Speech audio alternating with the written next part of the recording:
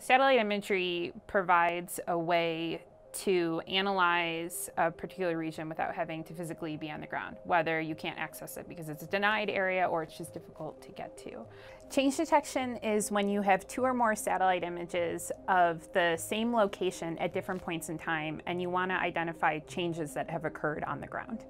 The types of changes that we're interested in are both material changes, such as a building being constructed, and deformation changes, such as a dam subsiding. In particular, we're interested in rare changes that are different from how everything else might have changed.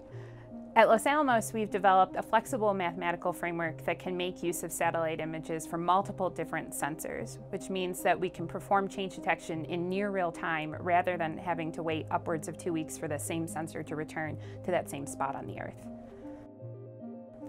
Having more frequent imagery allows us to characterize the type of change that has occurred.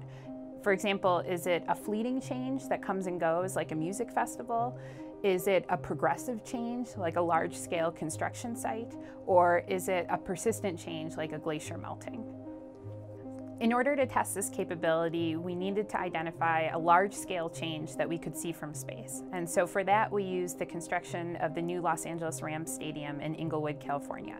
The construction of the stadium's been going on for the last several years, so of course we saw a lot of the types of changes that you would expect to see. We saw the ground being raised to prepare for the site, we saw dirt being dug up and turned over, we saw the framework being laid out, and all of that. In addition to that, we also saw some unexpected anomalous changes surrounding the stadium area. One set of changes that we weren't expecting to see were at a venue next to the arena. We were detecting a lot of fleeting changes, and so when we went and did some internet searching, we discovered that the arena had just hosted the MTV Video Music Awards, and the changes that we were detecting were caravans that were related to the event. One of the primary reasons that we're interested in this capability is for national security. For example, it can help us stop the spread of nuclear weapons by detecting illicit activities through the use of satellite imagery. It can also help us understand, for example, climate change issues related to the environment. Methane craters are not very well understood, but they're of concern because they release large amounts of methane, which is a very potent greenhouse gas.